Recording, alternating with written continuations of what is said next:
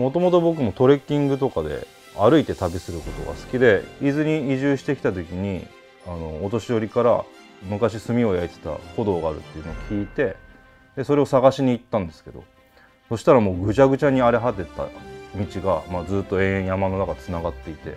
でこれを直せばなんか観光資源になるんじゃないのかなって思ったのが最初のきっかけですね。で2 3 0 0メートル直してでそこを自転車でマウンテンバイクで走ってみたらものすごく面白かったのでせっかく海もあって山も遊べるようになったらもっといい場所になるじゃんっていうところからツアー化を目指してきました。国外だと、まあ、最近はやっぱアジアの人たちが増えてる。あと南アフリカ。やっぱカナダアメリカオーストラリアニュージーランドとかの人はもうよく来ます。ね僕たちはそのツアーだけをやってるわけじゃなくて森林整備の授業もやってるんですね。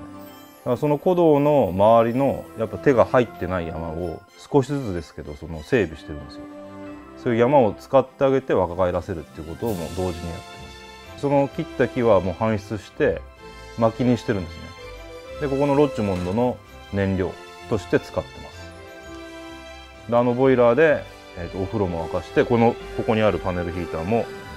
このお湯を回して使ってますんで。ほとんどがこの薪のエネルギーだけで回ってる。今度松崎町の中心地に物件を買ったんですけどそこを薪火レストランにする予定です。全部薪のエネルギーだけで、えー、と熱供給しながら料理もできるんで。めちゃくちゃうまいんですよねその薪で調理すると。料理もね地元で採れた魚が食べれて。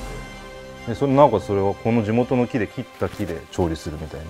しかもイノシシも食べれてみたいな。こんなに恵まれてる場所なんでそれを生かしたなんか、まあ、観光ですよね、まあ、同時に森の整備もしていくっていう。やっぱあるものを使ってちゃんとサービスにしていくっていうことをしたいですね。